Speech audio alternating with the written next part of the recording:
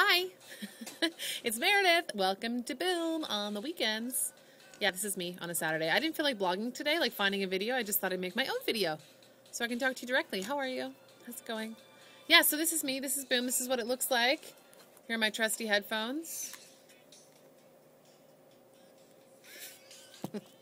it's really fun. But this is what I do on the weekends. And then I talk to you. I get to talk on the phone and I get to play good music. It's a pretty sweet job, I gotta say.